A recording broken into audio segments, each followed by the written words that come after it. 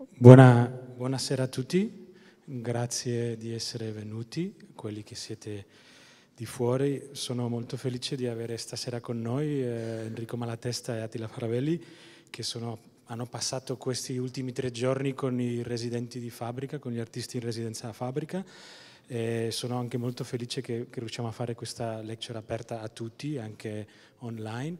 Eh, un po' per introdurre la, la questione, abbiamo partito questo, questa prima diciamo, settimana di questo nuovo semestre eh, dove abbiamo partito con una lecture la settimana scorsa di Team Ingold e continuiamo eh, oggi con questa lecture aperta e questo workshop che loro hanno dato qui a Fabbrica e che vedrete anche su alcuni degli aspetti nella lecture che vi proporranno. Evidentemente la lecture sarà in inglese, eh, però tutto il dialogo dopo possiamo anche farlo in, in, italiano, visto che loro sono italiani, però come abbiamo un gruppo internazionale a fabbrica vi chiedo questa scusa già di partenza. No? Eh, per il resto volevo introdurre un, un, minimo a Enrico e Attila e dopo passare un po' eh, la parola a loro. Eh, volevo anche invitarvi dopo, a parte di fare delle domande, anche a vedere una piccola eh, esposizione di alcuni dei lavori eh, di, di, Attila Faravelli, il label che ha Aural Tools e in, in, certi aspetti magari possiamo anche discutere dopo la lecture più in dettaglio di queste cose. No? Eh, cosa dire, no? non voglio fare una presentazione così alta, Enrico Malatesta musicista, eh, una delle figure importanti soprattutto di, di un nuovo eh, vedere della, del, del, della percussione, del, anche dell'arte sonora in Italia, è anche una figura internazionale e Attila Faravelli anche un, un, piccolo, un mago diciamo, delle nuove eh, tecniche di registrazione, soprattutto anche una visione del field recording e soprattutto eh, sono felice che ci parlerà anche del suo progetto Aural Tools, che credo sia un, un, un progetto molto interessante soprattutto da, da, da presentarvi e il resto eh, dare la, la, benvenuta e ringraziare loro per, per essere venuti grazie mille. Grazie.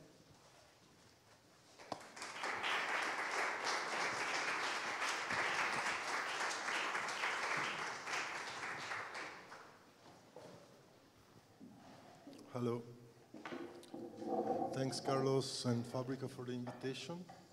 It's been amazing being here and spending a few days together with this group of uh, young people, artists, that manifested a very deep interest in our practice. At least this is how it seemed to me, that they were interested. And today we had the opportunity to see the results of these three days of um, research. And they did both a series of field recordings and a set of um, short performances, and they were all very, very nice and interesting. And this always amazes me how, for example, the same group has been using the very same equipment as another group while producing completely different uh, results. So I'd just like to tell a few words about the title of the workshop that we've been proposing together with Enrico, which is The Dance of Attention. I'd like to read you an excerpt from a text by mm, Brian Massumi and Erin Manning. Massumi is an important philosopher and translator of Deleuze in English, for example whereas uh, Manning is uh, uh, also a philosopher and scholar as well as a dancer. And within this text, the, they analyze the experiences by autistic people who kind of tell the way to perceive reality that for me and Enrico is crucial, which is without discrimination. So I just read you these few words they say, related to the autistic way of perceiving the, the world. To experience the texture of the world without discrimination. Texture is patterned, full of contrast and movement, gradients and transitions. It is complex and differentiated.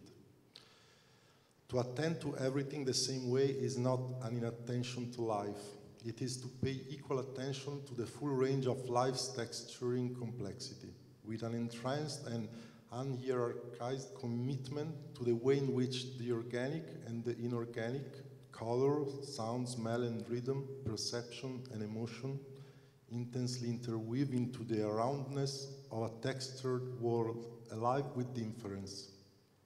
It is to experience the fullness of a dance of attention. And I'd like to tell you a very brief um, story of what happened on the first day here, where we were playing some recordings to the participants without telling them what they were. So no way for them to know what I was making them listening to. And uh, one of them, um, after a while, told us that these sounds, like the mechanical sounds, so the sounds made by mechanical objects sounded a bit like animals, and that the sound by animals sounded a very mechanical. And that in the end, it's really not possible, not possible to distinguish be between living beings and materials because there's a, there's a vitality in the materials and there's of course a mechanicity in the living beings. And I think that the approach to field recording and to sound that me and Enrico has, have been exploring together for a few years now has a lot to do with this idea of being able not to differentiate, so to just get out and listen to what's already there, to pay attention to what already is there. And as the participants uh, expressed so well during these days, everything can become object of our, our attention and appreciation. For example, today some participants did a very nice uh, performance by hiding themselves be, be, behind a wall in the church, and it was kind of kind of amazing how their voices sounded like if the wall was speaking to us. Then other people were exploring the small puddles and lakes by throwing small stones into it. And again, there was this sound of the water and the sound of the stones and the sound of their hands playing with the water. And um, I think that, in a way, what we were trying to express and to tell them uh, somehow reached them. And I'm very happy about this. Also, one of the bases of uh, this uh, workshop, which is also one of the bases of my own research, which has more to do with field recording, which is a practice of basically taking the microphones into, into the world. Uh, what, what really is relevant to me is a concept by uh, the Japanese sound artist Toshiya Tsunoda that I'd like to read you, which is also in the part of the text that we used to present the workshop. Toshiya Tsunoda says about field recording, this, the title of the text is About My Field Recordings. He says, documenting is based on reality, but it is not a secondary supplement to reality.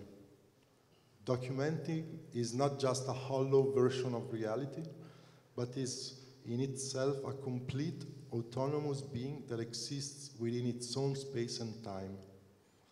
In other words, documenting plays its own role in our world. For instance, and this is quite interesting as a metaphor, I think, and very clear, he says, for instance, although footsteps are just a physical mark on the ground, we acknowledge them as an independent matter, separate from the ground itself. This is because we have the ability to recognize images. This image can be described as a trace left by many factors colliding in a given space. I prefer to describe my recordings as a trace of reality rather than a relation to reality. Or another word that I don't like, that is usually referred to when talking about field recording we tend to think of them as a representation of reality. And as you participants have been experimenting, it's quite another thing listening to the world through the microphones and recording the sounds and experiencing sound through these technological devices and to just be there with your own body. So, I think I'd like Enrico to say something. Yeah, good evening. Uh, my name is Enrico, and uh, yeah, I just want to add um, something from what Attila says, that we work together since many years, even if we are we are totally in a different position in terms of how we relate our own practice to sound. But uh, first of all, we are very good friend, uh, which is important sometimes to work well with uh, someone. So we tend to resonate a lot one to the other. And uh, I think we both, uh, we are both keeping working together because we are, um, basically because we are learning a lot one from the other. And uh, my work is mostly based on percussion instruments formally, in the sense that I face the audience generally using percussion instruments, so musical instruments, musical instrument that uh, has a very clear, sometimes identity in the, in the way we perceive it, we watch it, and uh, also from what we expect from it. Uh, I, am a classical trained percussion player, so I've studied basically snare drum and timpani when I was, uh, I mean, younger at the conservatory. And, uh, but I always uh, had this strange feeling with the certain structure that the music has, uh, parameters, rules, not, not because I don't like rules, but uh, I don't uh, felt um, very overlapped in terms of energy by just accepting some rules. And all of my work is based um, in my intimacy to um, present uh, the musical instrument as, as, as an um, assemblage of different materials, meaning different vitalities, different way to react to impulses, uh, different way to express also some vitalities, vitalities in the way the material um, create a relationship or a system of relationship with the acoustic of a space. And uh, so I tried to, de to I developed uh, for many years what is called uh, generally extended techniques, uh, which are really related to like improv music, free jazz, and you know electroacoustic experimental stuff. But uh, later on, I focused more on very simple and basic rudimentary way of acting on the instruments. Uh, so I felt very comfortable with the title of the, um, this spring summer season at Fabrica, which is Archaism. And uh, I digged a lot in um, both in idiophones, so like archetypes of musical instruments, but especially in the way the body uh, has to create, uh, to negotiate you know, with the material, with the shape of material, with the weight of material, uh, with the way a material can vibrate uh, with a very simple stimuli. Idiophones are, I mean, the, if you buy the, this very common book, which is the History of Musical Instruments by Curt Sachs, or maybe I, no, that's not the author, I don't remember the name of the author, sorry. Um, there's uh, one chapter based on these instruments, which are not, uh, you know, put together with, um, in terms of specificity, but uh, what creates the families of these instruments are the way the body have to act in order to produce sound with certain materials. So basically, these instruments are uh, actually common tools, most of the time found objects, found materials, with very rudimentary assemblage. And uh, their sound is basically um, an extension of a body, mo a body movement. So there's no structure that uh, I have to learn to deal with. There's no uh, passages that I have to understand how to articulate my hands or my body to create uh, a language, no? a code out of sounds.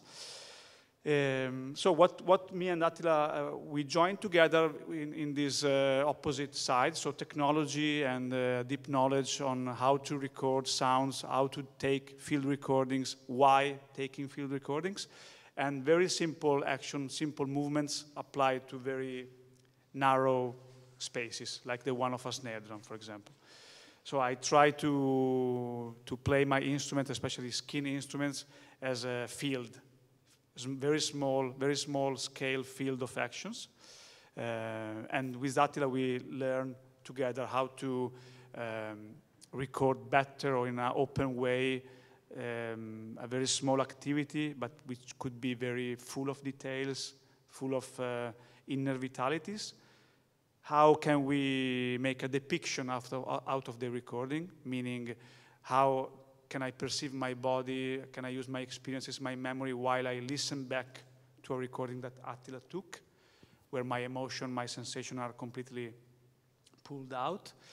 And I also learned, uh, I mean, from him, but also from a lot of colleagues of mine that work with technology, to give more dignity to very simple, poor, and apparently um, empty sounds, which I think is uh, very important as an artist, but also as a person, first of all. Um, so to try to not to underestimate anything in terms of what they can express through sound, and especially how can I use my sense of touching, my way of, of um, moving to create sound, and using the sound as an, um, I would say, a zone of connection no? Be between two different uh, vibration, meaning one is one of my, the one of my body and the one that I can transmit from a surface to a surface of an object. Um, so yeah, actually I brought the snare drum to play a piece because I prepared a very short piece for Fabrica that I never played before. So the participants at the workshop already heard that like five or six times, so maybe they are a bit bored about that, but um, is a combination of very simple action with the two hands, uh, using the snare drum as a resonator and this small gong as a main um, like surface of vibration.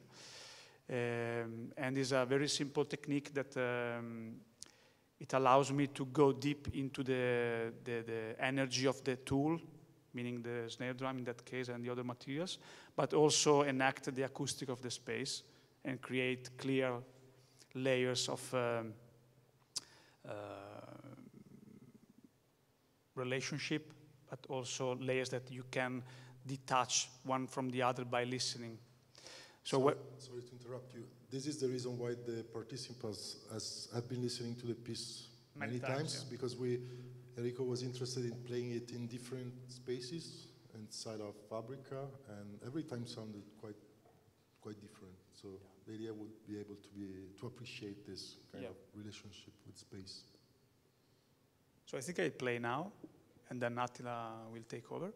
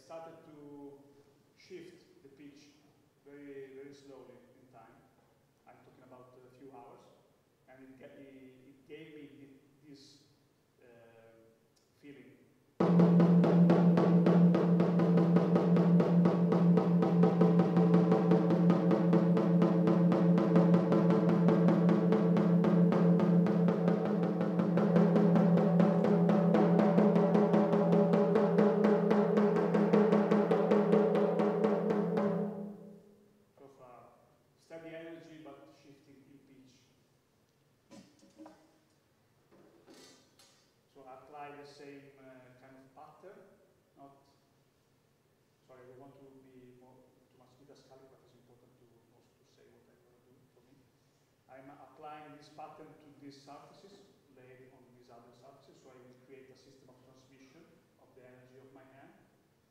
And, uh, but this tool is uh, not steady, I mean it vibrates, can create oscillation on the surfaces.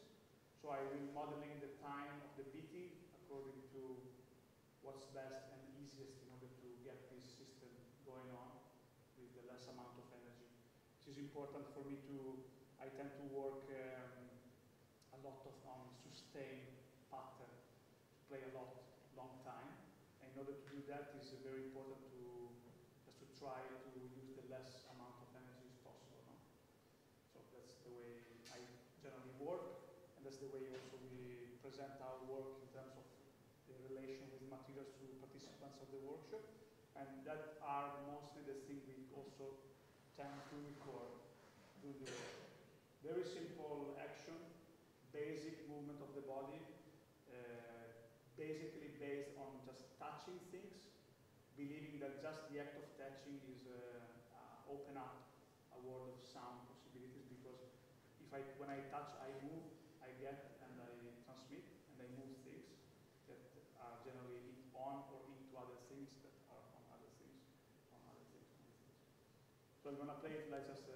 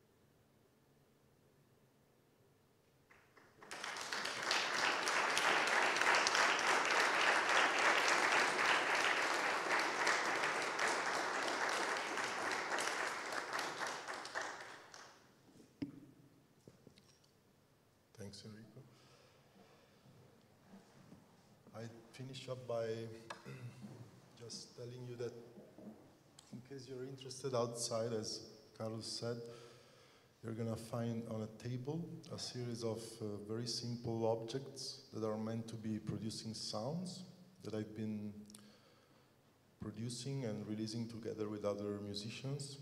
Two of them we did it we did them together with Enrico. And just to give you a very broad reference about the project, uh, years ago I wanted to do this uh, record label, experimental music label, but I kind of immediately realized that the musicians that I enjoyed wouldn't fit on a recording because either what they were doing, like in Enrico's case, was very much site specific, or because the concepts behind their productions uh, was so interesting that when you put on a CD, you just don't get it. So I came up with the idea of releasing a series of very simple objects that can be taken seriously as well as, as toys. Some of them can literally be played by kids and uh, allow us, me, when I do the presentations with Enrico or alone, to really allow people to listen to themselves while listening to sound.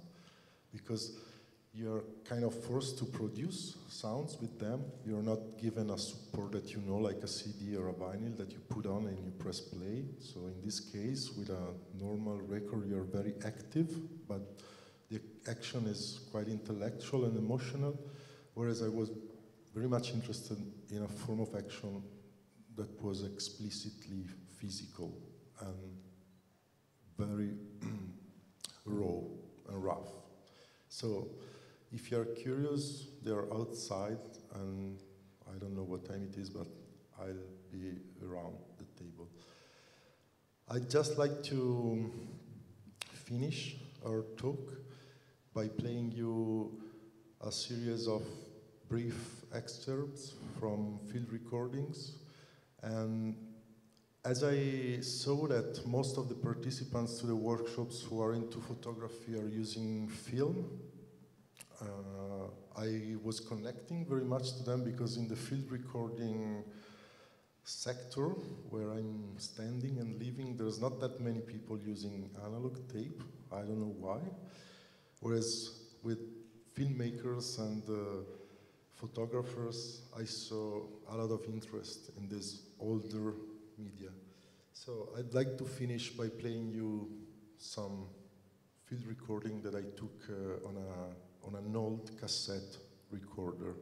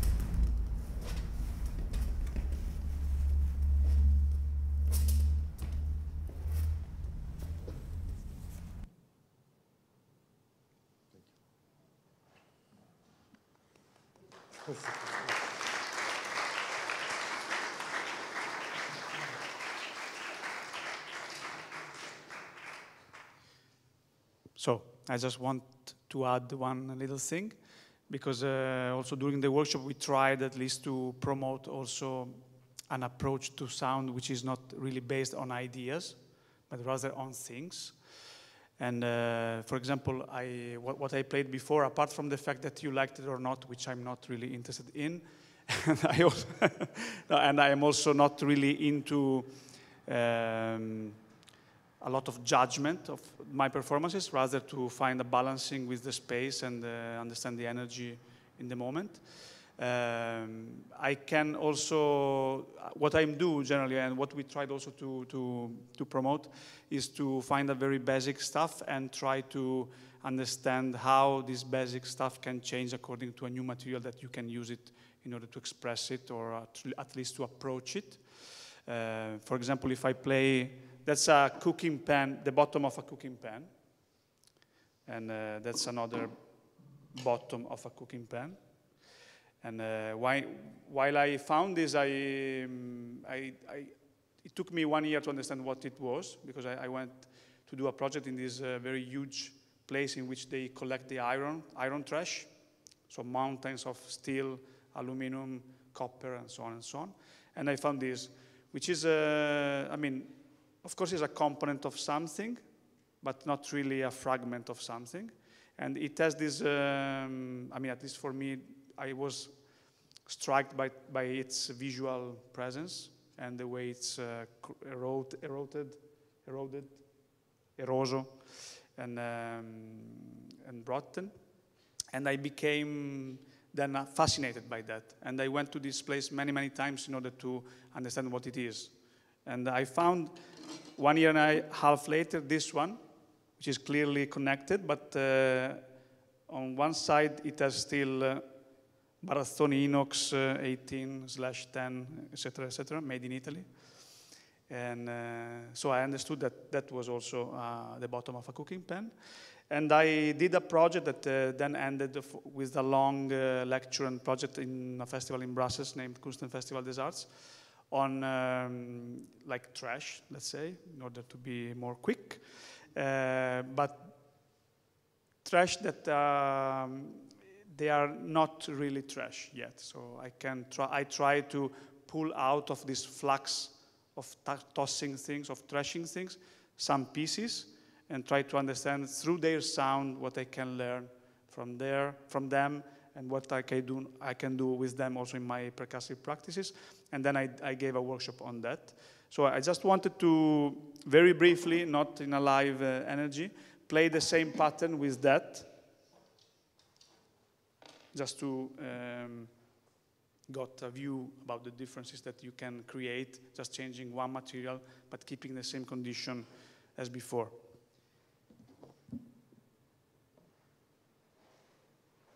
So of course, this, this, this is not meant to be a musical instrument, no? Its purpose was different, so its performance is totally different. It's very thick, has a very slight and pitched resonance, inner resonance that you cannot really hear. But what you hear then is the wood a lot. The resonance of the wood out of the metal, which is the opposite than before, in which you you weren't able to, to really feel the material of my guitar, but also only the resonance of the, this metal disc. And um, so what I do with that is not, for example, to use it like that. Even if I like it, because it's too thick for me, but to keep it in my hand, and have this strong feeling of wood. And I also can, from my position, can listen more the acoustic of the space than before, because there's less chaos. It's more clean, actually. You around your, around your head, listening, you can maybe get some acoustic phenomena that before was not so expressed, meaning reverbs or tiny echoes.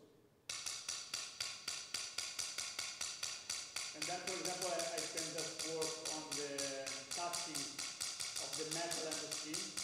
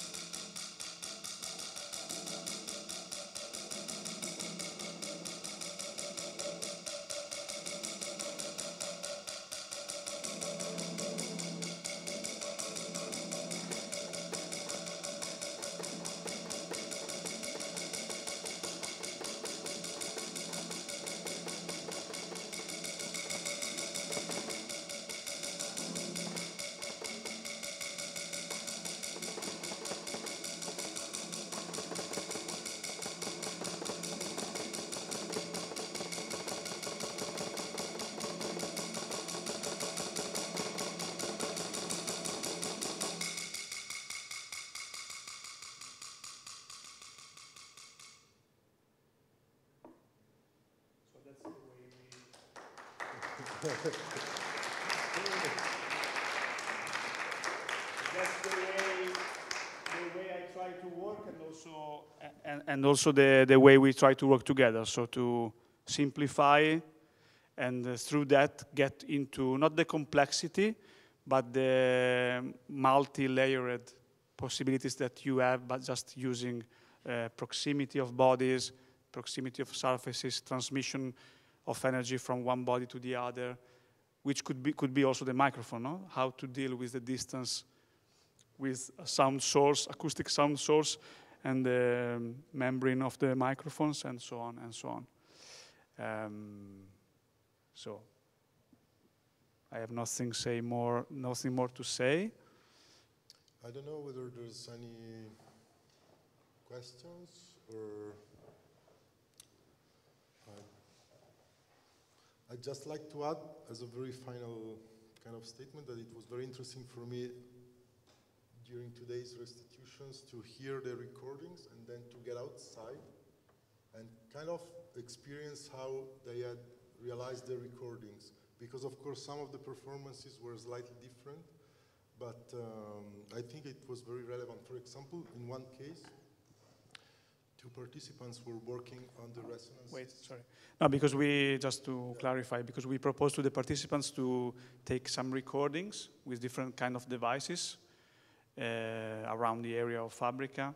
And then at the end, after listen to all the recordings, I mean, excerpts, uh, extracts from them, we asked them to bring us to the place where they took it, more or less, and they performed acoustically what they have recorded.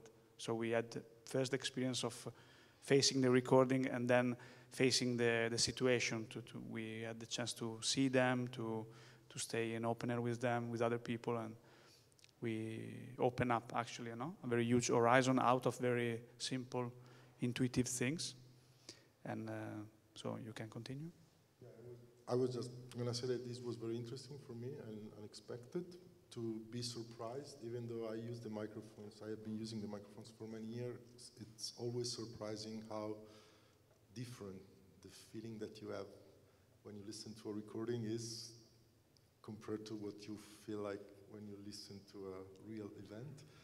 And I was just to tell this uh, funny element of one of the performances where the participants, two participants were creating beatings and beating against this um, like uh, big tubes that are outside and they asked us to put our ears next to the tubes in order to listen to these sounds.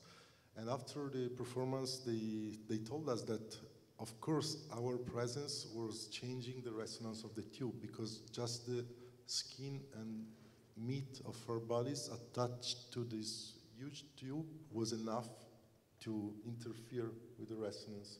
So, I mean, it's impossible here to, to tell you how many interesting things came up for me, but this came to my mind as we were talking about field recording and sound and live actions. So, maybe Yeah, that would be nice if we just unknot this formal situation and there are some questions and curiosity and so on and so on. You can, we can start. Also in Italian. I don't know if there's maybe we can pass a microphone. If there is any question, don't don't don't be shy. Maybe.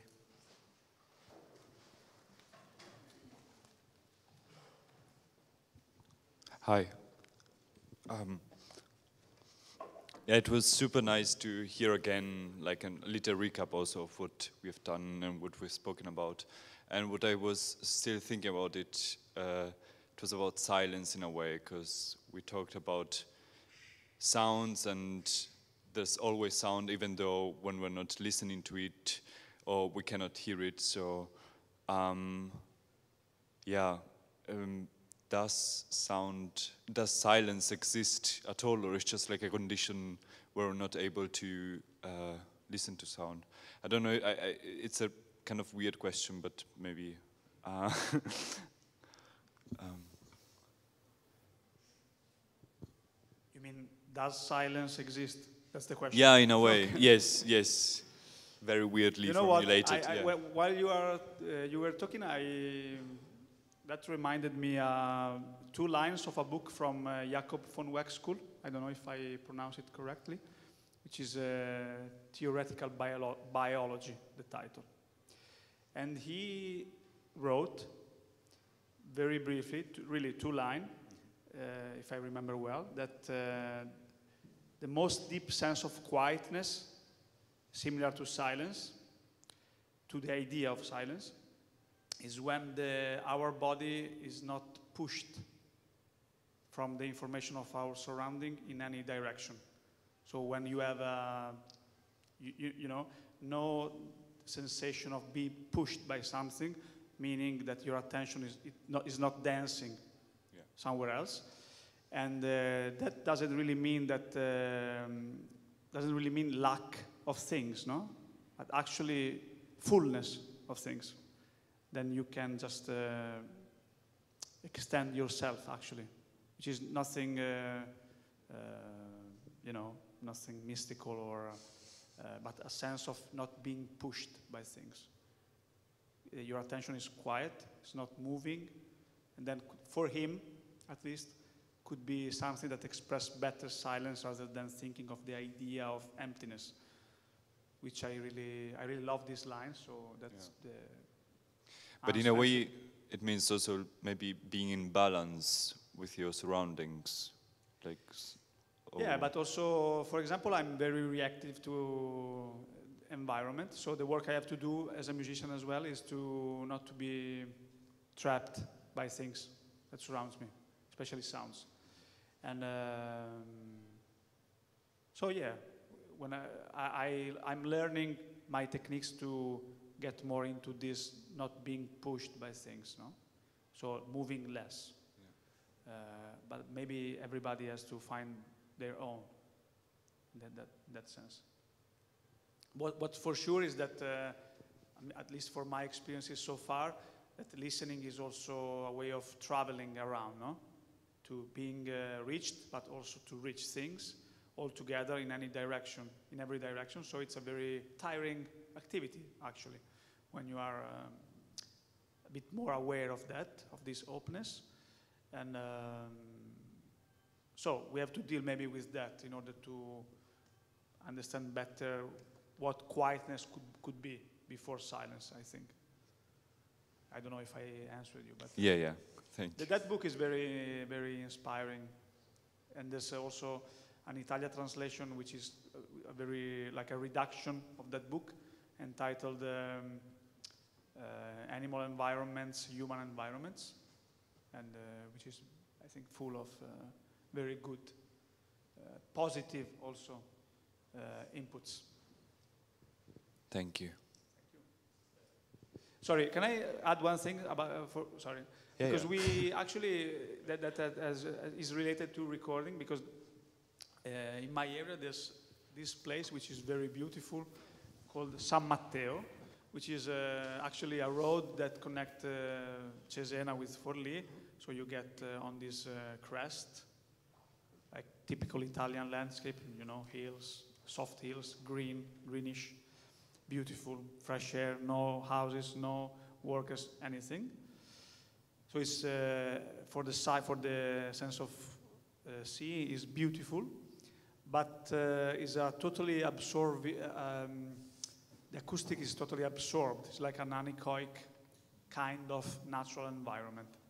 So you get in this very beautiful place. Uh, it seems to be very silent. So ah, so this is a silent place actually because you don't really hear anything. But after a while, it's very tiring because um, you start to hear something that things that is not. Um, like for example, I went there by car once, and I, uh, I mean, I assure you that that's the truth. I was hearing my footsteps in the um, ground, reflected by the car. So there's no no other sounds, no filters, no nothing, and was more tiring that rather than being in a more chaotic place.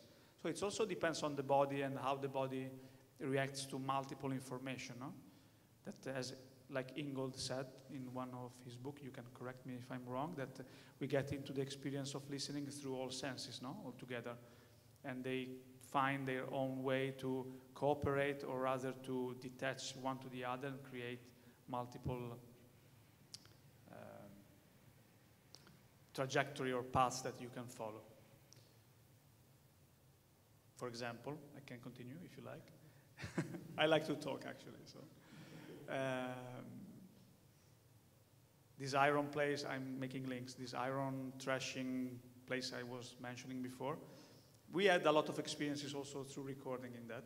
But one, one thing I did once is to do a very kind of um, informal workshop. And I put a Bluetooth loudspeaker, this portable speaker, playing a white noise in a point of the area which was really stinky, like chemical oily stuff, but really unaffordable for the nose. And nobody was seeing uh, the sound source, and nobody knew where the sound source was. And I asked to, but everybody was listening to the sound. So for everybody was clear that that sound, white noise, was there. And the task for everybody was to where to, to reach the source of that sound and go with the face as close as possible to the speaker. And nobody went to the same, arrived at the same position because of the smell, you know. So some of them were at uh, 15 meters, other at two, and uh, so that's, I think, a good uh, example of this dance of the senses as well. So sorry to talk too much, but. Uh, um, hi. Uh, again, thanks for the workshop. And my questions to Attila. Um, uh, when we're talking about painting, for example, um, you can sort of, uh, when the camera was invented is when a lot of the efforts in painting uh, started getting focused on more contemporary expressions because there was no longer a need of like realistic um, recreation of things. And throughout the workshop, you have emphasized on the idea of um, field recordings, um, like an approach to field recordings, which is the, where the point is not to be accurate, but the point is to um, have fun with the textures of it, which I would say is a more contemporary approach to it. So was there an invention of camera moment for you where something switched in your brain where you said that this is what I want to do with my field recordings?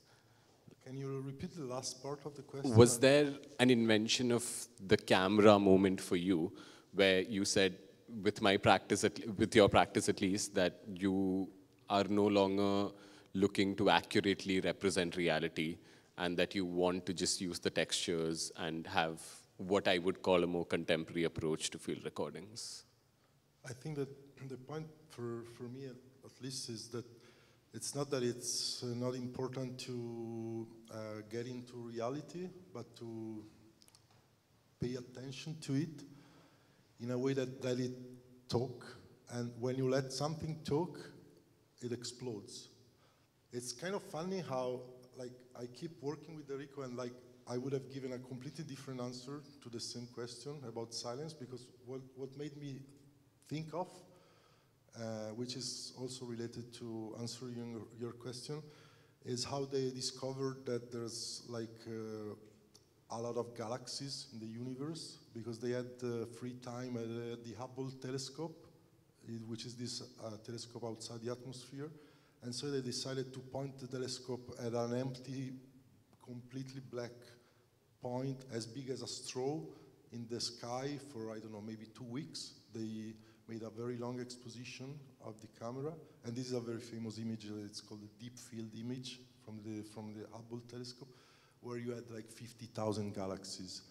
So the reason why I don't think it makes any sense to represent reality is not because I want to have fun or I, I think it's important to be contemporary, because, but because I think that there is reality as such, because we are immersed in it and we are it. At the same time, as I told you, like on the first day when I was talking about these folds of reality, it's impossible to, to be objective about it. So it doesn't make any sense to be trying to represent it in one way.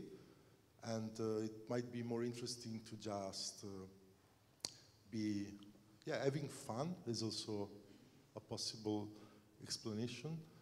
But um, I'd say maybe to let it explode, you know? I also like how these technologies, the camera and the microphone are hyper advanced and they're super detailed and super precise and like uh, they are an expansion to our sensory apparatuses. And they're meant to be uh, fixing sound into a recording and they're meant to be for us to be able to understand sound. But in the end as you saw during those three days it's a mess if you use microphones it's like otherworldly. It doesn't sound real at all. It's too complex it's too but that's why i think it's important to use the microphones as a tool to and the camera to explode reality instead of to trap it. Thanks.